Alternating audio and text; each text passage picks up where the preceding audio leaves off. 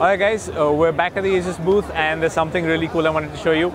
These boards are already hitting the Indian market but I don't think most people have seen them yet. This is the Strix X370F Gaming and this is the new lineup for your AMD Ryzen CPUs.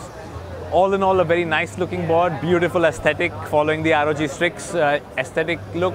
Um, it's got it's got quite a bit going for it. Um, let me just quickly talk about all the features the board has. It's got two USB Type 2s, it's got six USB Type 3s, it's got one USB Type C 3.1, one USB Type A 3.1, and it's got a regular 10, I mean a 1 gigabit Ethernet connector. No 10 gigabit. I, I'm, I'm really, really hoping that the next generation of boards all come with 10 gigabit because 1 gigabit is just, it's done. Um, we have, uh, of course, the, of course, your CPU socket right here.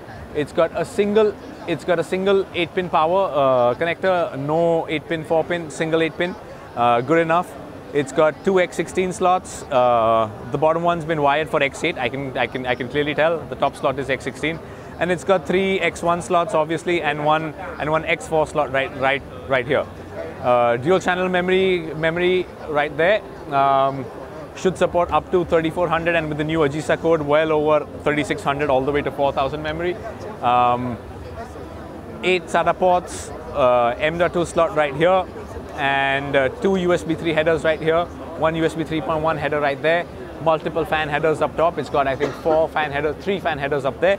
It's got it's got two fan headers down here, and it's got one fan header down there. Um, yeah, that, I think that pretty much covers this board. I can't see anything else that's really catching my eye about this, but yeah, all in all, a very nice looking board, very nice aesthetics. Uh, looks extremely nice.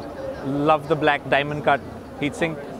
Um, yeah, this is the Strix X370F Gaming, guys, from Asus.